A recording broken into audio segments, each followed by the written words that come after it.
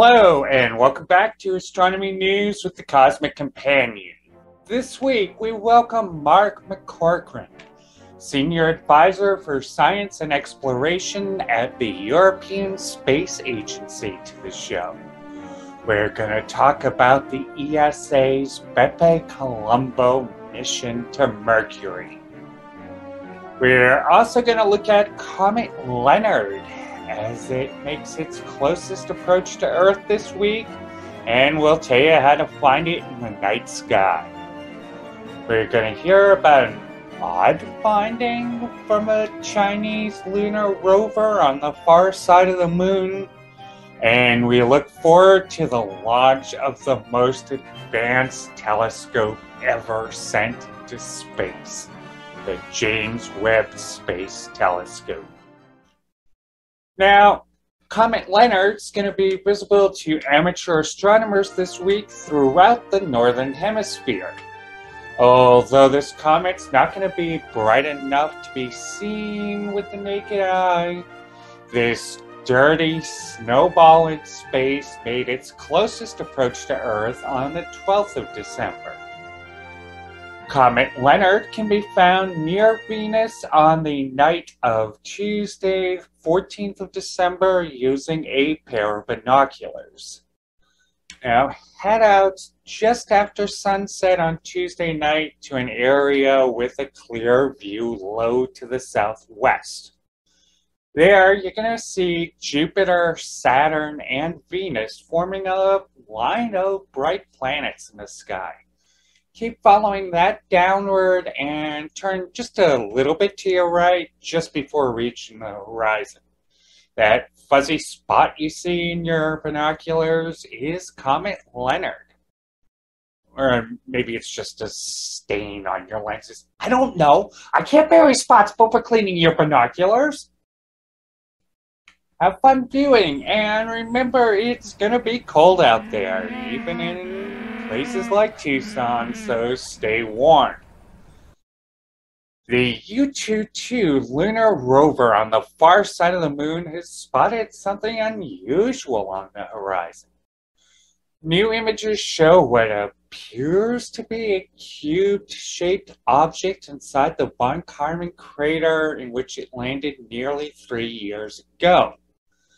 Dubbed the Mystery Hut, this feature sits at the edge of a small crater 80 meters or 260 feet away from the craft. The Chinese Space Agency CNSA is directing the rover to explore the mystery object, but these rovers travel slowly, so it's going to take two to three months to arrive. The James Webb Space Telescope, the most advanced spaceborne telescope ever developed, is readying for launch on the 22nd of December. This telescope, featuring a massive segmented mirror, will view the sky in visible and infrared light, allowing unprecedented views of much of the cosmos. The James Webb Space Telescope will give astronomers glimpses of our universe 13 billion years ago, as well as worlds in our own family of planets today. Instruments on board the James Webb Space Telescope also potentially have the capability of finding life on other worlds. Join us on the 21st of November for our season finale, looking at this revolutionary instrument. We're going to be talking with Dr. Stephanie Milam, Deputy Project Scientist for Planetary Science for the James Webb Space Telescope at the Goddard Space Flight Center about this remarkable, remarkable craft. Looking deep into the universe, we see backwards in time and the oldest light in the universe holds secrets to how everything around us will, one day, end. Meanwhile, stars, planets, and galaxies dance in an intricate ballet, occasionally giving birth to life. We are a fledgling species, just beginning to visit other worlds. We are a way for the universe to understand itself. The Cosmic Companion strives to bring the universe down to Earth and we depend on your help to make it happen. For information on subscriptions and ways to donate to this program, please visit thecosmiccompanion.net. Thank you. Next up, we talk with Mark McCaughrean about the latest and most advanced mission ever to explore Mercury, Bepi Colombo.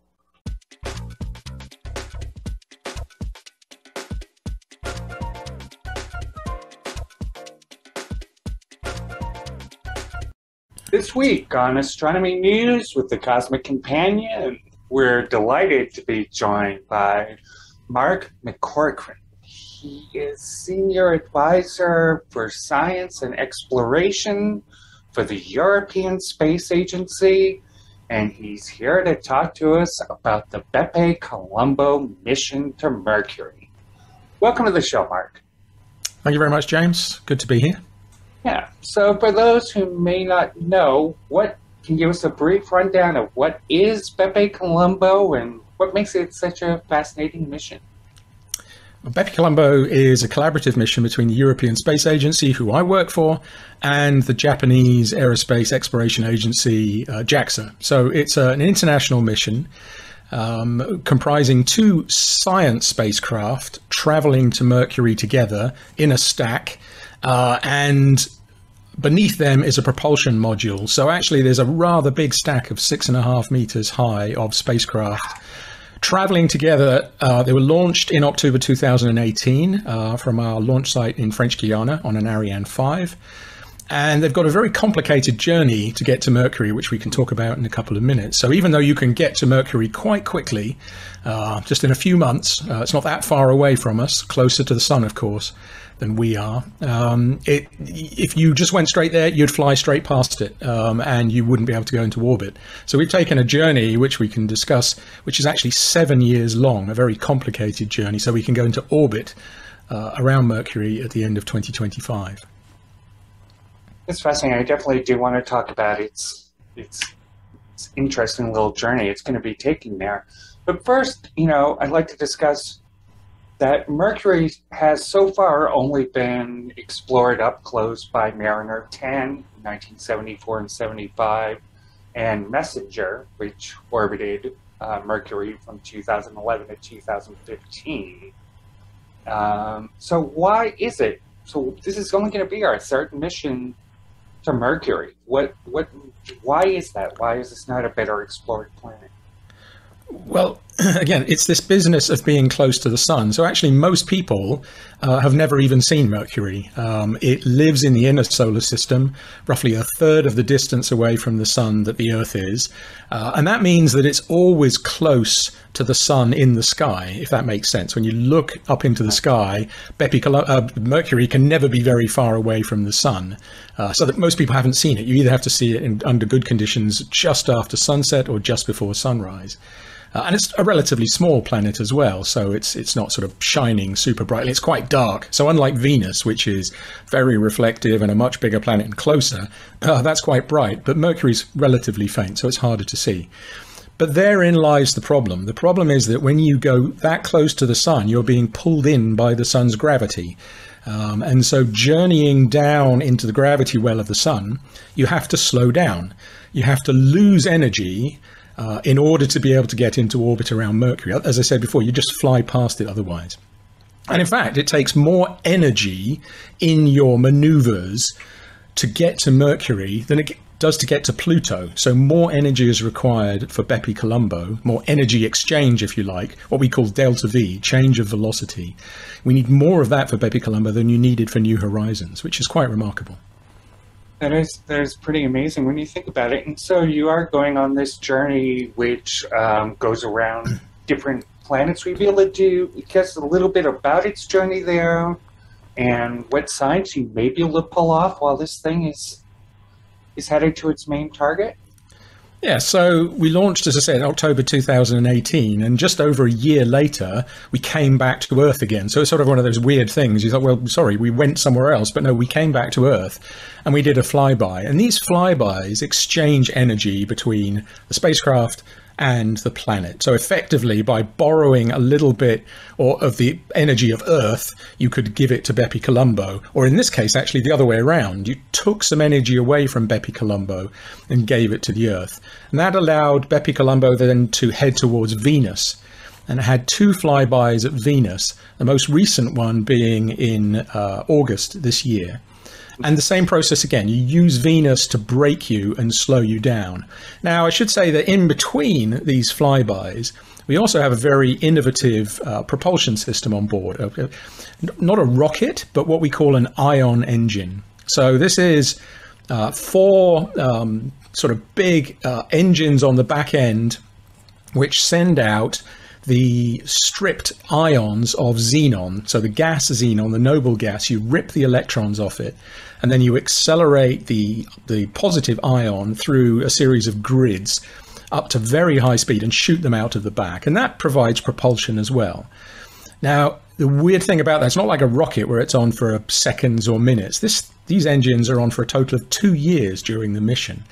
So they give very little force at any given time, but because they're on for long periods of time, they can change the trajectory. So on board Bepi Colombo, we actually loaded up with 550 kilograms of xenon gas uh, at launch. And xenon, people will be familiar with these days because it's the same kind of gas that's used in these very white headlamps that expensive cars have.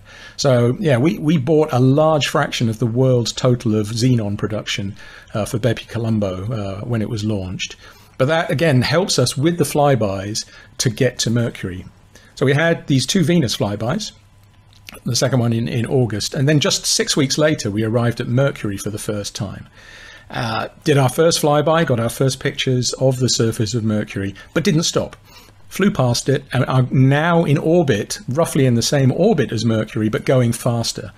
So in the next um, between the end at this point in 2021 and to the end of 25 we have another five flybys at mercury each time going past.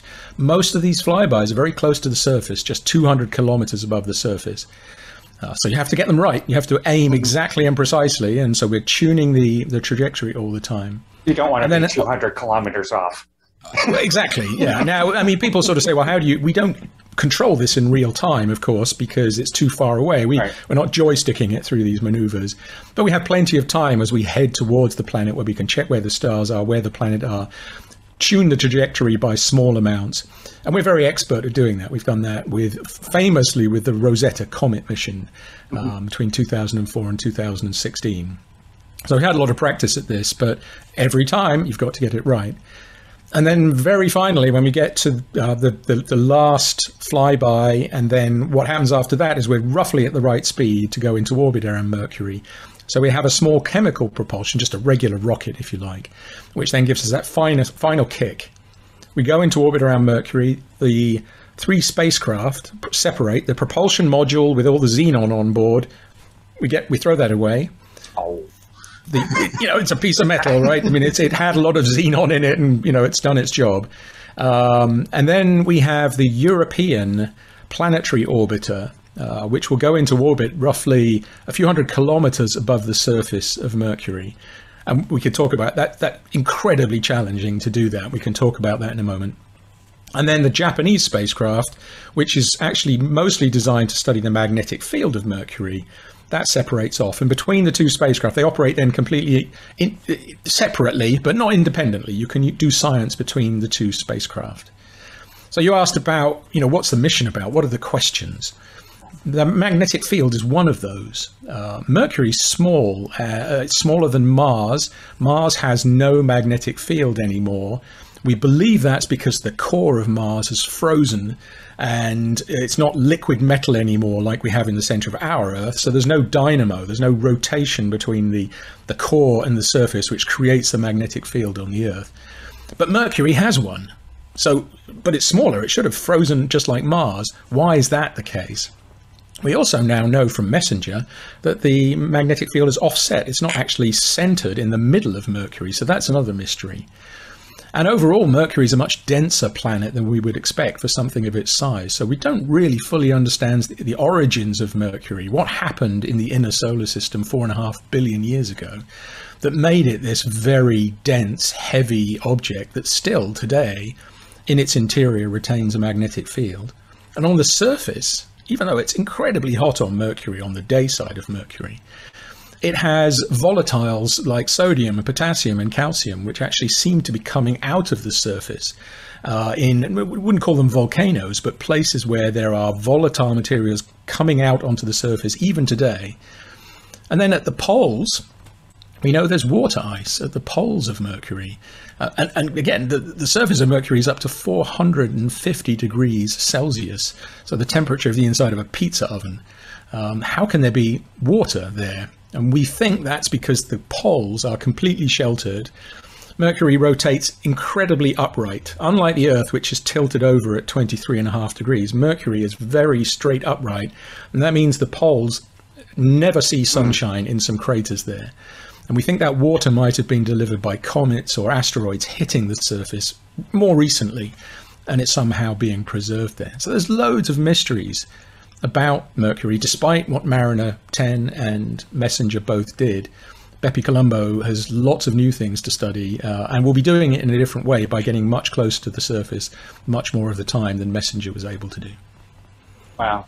And are you able to do a lot of science on, on during these flybys, or um, or is it going to science mainly going to have to wait till 2025? There's a it's a mixture really um, because we're in the stack where we have what we call the MMO, the Japanese spacecraft, the MPO, the European one, and the MTM, the propulsion module many of the instruments are actually sandwiched between the MTM and the MPO. So they're, they're deliberately not um, accessible while the spacecraft's in a stack. And one of the main instruments in there, which, which can't operate in this phase, is the main science camera. Now, fortunately, we do have three webcams on board, which were effectively to ensure and oversee the deployments of things like the high gain antenna, which we use to communicate the data back to Earth, the solar panels, uh, and other hardware, the magnetometer boom, for example.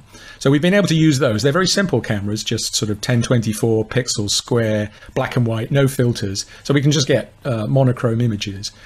But some of the science instruments on Bepi Colombo are operational. So some of the ones which me measure magnetic fields, measure plasma, measure particles.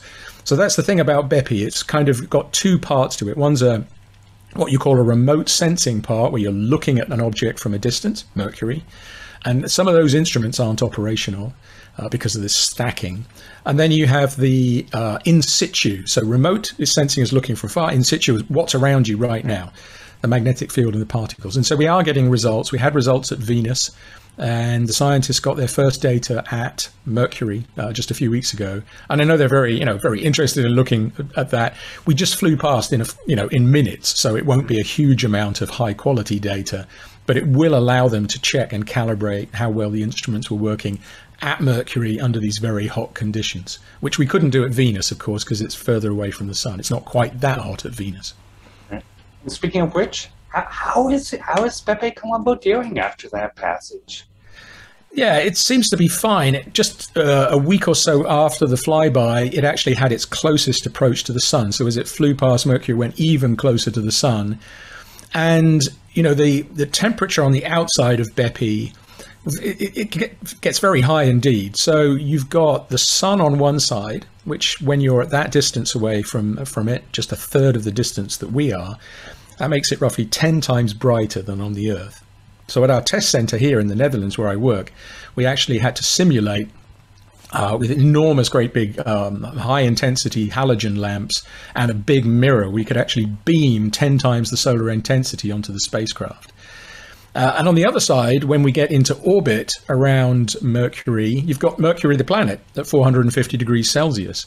So you're being blasted from one side and from the other um, and you've got temperatures which are up to 500 degrees uh, Celsius on the on the uh, spacecraft itself. So, but obviously computers won't work and instruments don't work at those temperatures. So on the inside, we have to maintain the temperature down around 50 degrees Celsius at the maximum. That's quite warm. That's kind of Tucson summer. I was going to say, yeah, Tucson summer right there. Uh, it doesn't quite reach that here in the Netherlands, but but so that's a huge differential between the outside and the inside. And there are two ways you have to deal with that. One is by having very thick insulation. So Bepi Colombo, unlike most spacecraft, which are typically black when they're launched, um, it actually is very silver and it's got this very um, complicated multi layers of kind of fireman's uh, um, uh, fireproof outfit. Uh, in fact, it, it's it's a metallized material in the outer layers, and that all had to be hand sewn um, onto the spacecraft. And in fact, there's a legendary story that one day somebody came into the, the clean room where Bepi was being kind of stitched up, and there were there was blood on the floor under the spacecraft, and it's because one of the people who had been stitching the blankets on had poked themselves with a big needle. Um, so, so obviously, you know that helps. You put your big insulation on, but in the end, you'll just warm up because there's that constant sunlight, mercury. If you're, you know, when we're this is the difference. You know, a messenger would fly close into Mercury and then back out to large distances again, and in and out, and in and out. Bepi Colombo is just going to be in a constant orbit, so it's always going to be seeing this hot uh, surface of Mercury. So the other trick with Bepi is that you've got to get rid of heat. And in space, you can't use convection uh, because there's no air. And you can't really use conduction because what are you conducting it to? There's right. just space right. around you. So the only thing you can really shed heat by is through through light, through infrared radiation. You can beam the, the, just like a radiator in your room gives out most of its heat through through actually being warm and radiating into the room. Hence the word. But on Bepi, we do we, we do that. But if you beamed it in the direction of the sun, you'd get way more energy coming back. And if you beamed it to Mercury, exactly the same, way more energy. So the only way the radiators can point is into that narrow piece of space that's not facing the sun and not facing Mercury, so out sideways. So the radiators on Bepi have to point sideways. And they constantly have to do that. So as we fly around Mercury, the spacecraft actually has to turn Just, all right, the time. Right. And that makes Bepi one of the most challenging missions we've ever operated because it's constantly changing its attitude as it goes up. People would think, well, as you move around, um, you you end up, you know, if you move around the Earth, for example, if you think about the Hubble Space Telescope going around the Earth, if it's pointing at a star up here, as you go around, it doesn't rotate around the Earth and point in different places. It just keeps pointing in the same direction. Okay, it doesn't. The, the spacecraft doesn't spin as you go around the Earth. With Bepi, if we didn't actively change its orientation all the time, then there would be moments when the radiators would actually be facing Mercury or the Sun, and that would be totally counterproductive. Right. so this constant dynamic reorientation of the attitude of the spacecraft has to happen once once we're in orbit. We're not doing it at the moment, of course, because we're not in orbit around Mercury. But when we get there, that's going to be going on all the time. And you know, so people will be on the edge because if if we one of the computers goes out, we have a safe mode. We have a you know we don't have long to recover things before the spacecraft would overheat. Wow. And so finally, what's what's next for Bepi Colombo? Next flyby back at Mercury is next summer. So although we had Venus and Mercury very close together, just six weeks apart, the next one is actually uh, I think in June or so. I don't have the, the date exactly right, yeah, in my mind, yeah. and they're not completely equally spaced. So uh, we've got a few where there's a long gap, and then a couple come very rapidly. So. We, in, in some of them, we go around the kind of around the sun twice before we get back to Mercury. In others, we go around four times. In one, we just go round once. Uh, Mercury has an 80 day orbit, 88 day orbit around the sun. So we, we, we go around pretty quickly, but we don't we don't just go around once and encounter Mercury. We spin around it a few times. So yeah, we've got a little bit of time now to analyze the data that were taken in the first uh, flyby. And I was I, I'm not working on the mission per se, but one thing I do do a lot of at ESA is work with images coming back from our spacecraft. I'm an astronomer, actually. I work on the James Webb Space Telescope, among other things. Uh, but I have a passion for imaging and how our digital detectors return data. Excuse me. So I actually helped with uh, some of my colleagues in taking the webcam data, we, the monitoring camera data, and as they flowed back in the morning of the flyby around Mercury, um, we were looking at those and putting them out for, for uh, public consumption and also making a, um, an animation, a time lapse movie. And we had some of the scientists from Bepi Colombo, Dave Rothery, and others who've been working on this mission for years and years and years. And we were all online in Zoom watching the images come back and to see the excitement of the scientists who had actually finally seen their destination for the first time. Seeing craters that we know from Messenger, Messenger's got better images so far, but you know, we will have much better data when we separate the spacecraft out. Um, but they're very excited already by you know by being there after so many years, and uh, I think that's yeah. you know it's a great time for the project and uh, lots to come still. That's great. Thanks so much for being on the show, Mark. It was fabulous talking with you. My pleasure. Anytime. Anytime. And that was Mark McCaughrean, uh, Senior Advisor for Science and Exploration for the European Space Agency.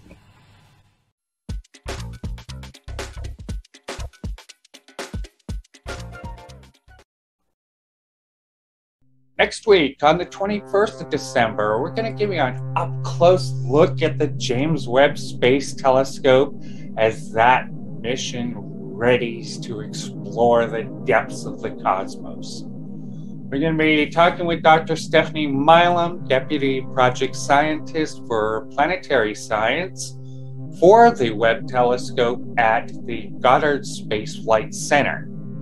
Here's a sneak preview of that interview.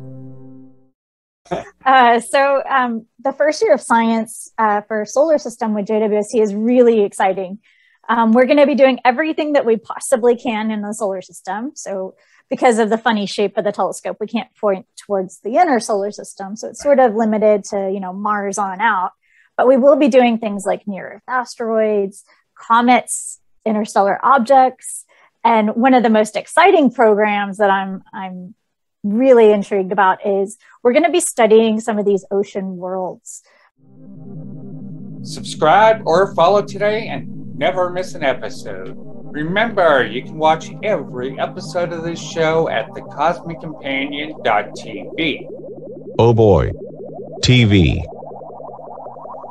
We depend on support from viewers just like you. For ways to help support this program, please visit thecosmiccompanion.net forward slash support. Please stay safe stay healthy, and keep your wonder alive.